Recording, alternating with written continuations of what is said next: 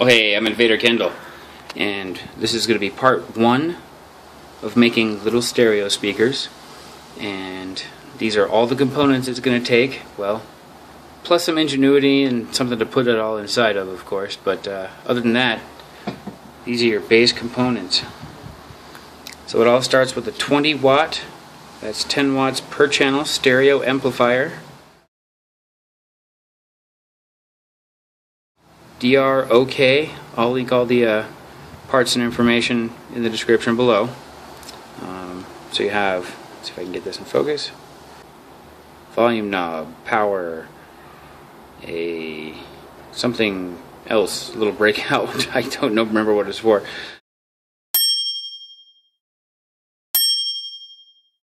Uh, power LED. And on this side, from left to right, you have the audio jack the power jack and left right audio output. So this is audio input sorry and these are audio output. And that's that. So all it needs is power. Audio input it will amplify. Um, power is bridged right now which makes it constant on or you can set a switch on it we have a bunch of Dayton speakers. Now, I know the name Dayton. I'm sure lots of folks know the name Dayton. So I have some little Dayton. They're low power. They are what are they? Three quarter inch by like two and a quarter. I'll I'll give you the exact information. So I have two of those, and oh, pop it off with one hand? Can I do it? A four inch aluminum faced cone subwoofer.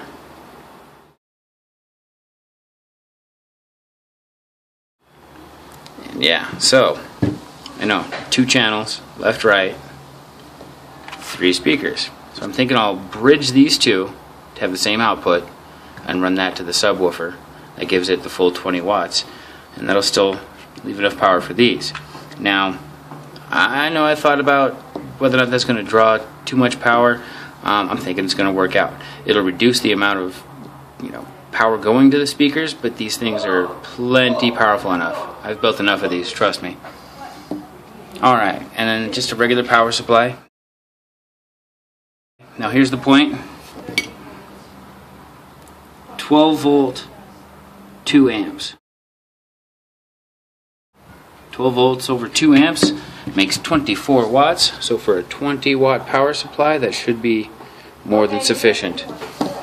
So it's just going to be these things, and then what we're going to decide to put it inside is the question. Now, my very first experiment ever was these guys right here. Yeah, I think he, and it's a little 5 volt uh, version, so 5 volts think it's only a 6 watt output and it can run on a little battery pack or a USB and I just wired in an audio jack that I got separately and pulled these speakers out of something else that was already broken. Um, and it was just a proof of concept. As you can see I even just wire tied the speakers on. It didn't even glue them or screw them or anything. And it sounded great sounded fantastic and I was really surprised at the signature that the cardboard gave it. So I'm, I really liked the cardboard um, here's another set that I made, and this is just a Folgers coffee can, some uh, laptop speakers out of an old broken laptop I had, and you know it's cabled. It's hard cabled. It's the same little 5 volt amp that's in this one.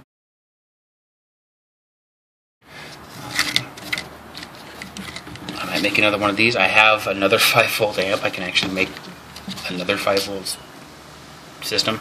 So audio jack and where we at? Where we at? USB. It's all hard connected right there. On off.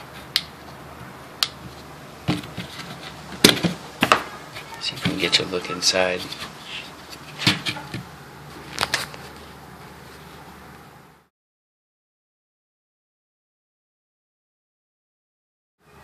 So that's uh, same company, DROK, and it's just a 5 volt version of pretty much the same guy. Less features, doesn't have on off switch. Um, it's built into the volume knob. Anyway, that's that's not what we have. but very good proofs of concept. Um, I did make a, like a nice like finished version of that using one of these and these two inch high wave full range drivers. Um, and these worked out great. I just I wanted to step it up a level. These are nice. Um, and the prices you're talking about are ridiculous. You can check it out. I know they're going to fluctuate, um, but I think it was it was less than four bucks for each of these guys, and then 16, 17, somewhere around that price range for these. Um, this was, I believe, thirteen dollars, and and the power adapter that was seven dollars, I believe. Yeah, we all know the prices on Amazon. So that's it. That's what I've got. Very simple, not much to it. It's just going to be ingenuity. And you saw my tool list. I will link all the information you want about these parts and some of the other related parts as well in the description below. And if you like and uh, enjoyed the video, go ahead and give me a thumbs up.